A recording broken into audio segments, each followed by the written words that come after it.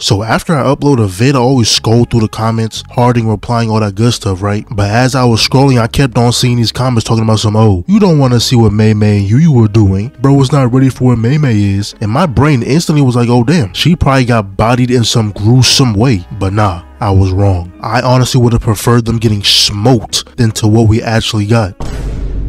Now, at first glance, I was like, okay, sure. We didn't see Mei Mei in like seven episodes, and the first thing we see is some titties. But the titties wasn't the problem. It's when the camera flipped and Ui Ui was on the other side of that bed. Now, I'm pretty sure they're blood related, and whether they did anything or not, they need to be jailed for showing me this unholy scene. But enough of that. We back where we left off to Geto pulling up to quote unquote save Mahito. But Yuji was on hot. He saw the man who IP banned Gojo from the server was not gonna let that slide. And I didn't know Geto can use Genjutsu, cause in Yuji's eyes it looked like he was about to fall. But to everyone else, that boy simply tripped. Not gonna lie, it's one thing to beat my ass, but making me look goofy is unacceptable. So Yuji went in for round two, this time jumping over the fake hole. But Geto said, nah, we ain't doing that and body him with centipedes. This dude Yuji can't catch a break. It's been non-stop boss battles for my guy. And that's when Mahito tried to sneak Geto, but he didn't know he got Spidey sense. And Geto did not take that act too kindly. At first I thought he was just trying to murk him. Turns out he put that nigga in his inventory.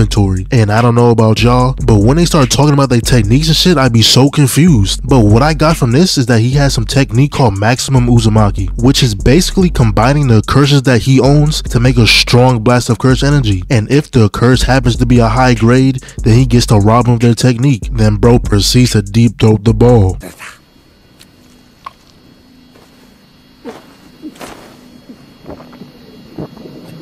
And after how long, the other students finally show up. But now I realize why nobody called on them niggas. They really out here using arrows and guns. Like bro, we all know unless it's a damn Kamehameha, projectiles never work in anime. You either need a melee weapon or straight hands to do damage. And Shorty right here knows the anime rules. She pulled up behind him using her sword technique and I was like, oh yeah, she finna go crazy.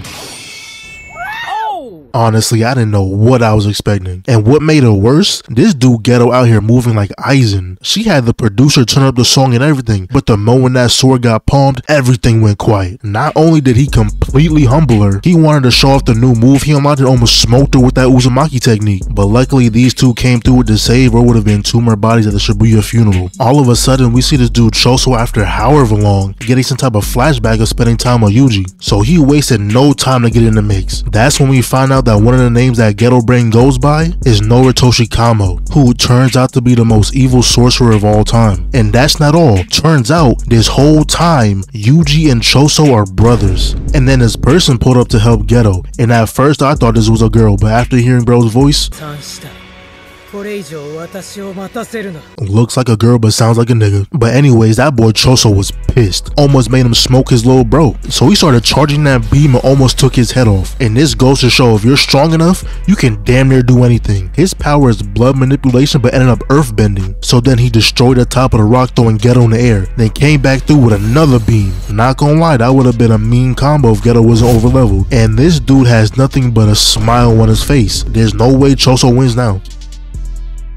Then Choso had a big IQ idea calling in an airstrike, but I guess either Geto is immune to projectiles or that nigga aim is just trash. So Geto came flying down and I knew hands were about to be thrown. But he flashed up behind him and a single hit, which Choso blocked, sent him flying. Then he ended up spawning a goon just to knock him off. And the thing I like about Choso, it feels like he's optimizing the use of his ability. From that random ass airstrike to him using the pressure of the blood just to boost himself back up. You know, maybe I was a little too hard on bro. So anyways, Choso thought it was time for that hand-to-hand combat. Went in for that three-piece, but Geto said he's not feeling hungry. He went for the sweep kick, Choso dodged, went for the heel kick, but Geto backflipped on his ass. Went for that charge right hook, but instead got hit with a mean reversal. Once again, Choso had an amazing play, putting his other hand behind his back to shoot the beam. he'd be having some crazy moves, but Geto was simply better.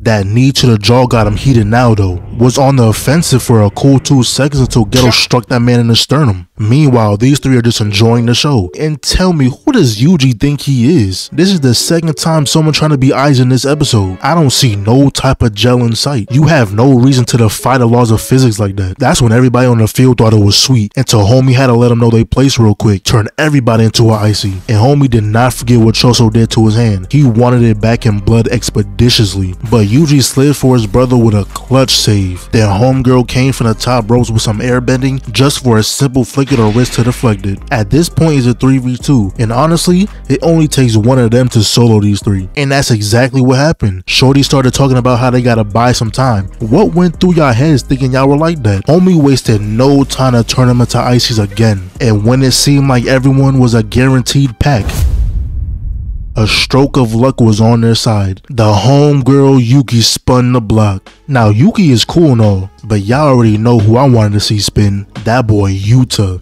Wherever he's at, that boy's having a great time while everyone else is fighting for their life. But yeah, bro, next week is the last week, and we probably gonna have to wait till 2027 for the next season.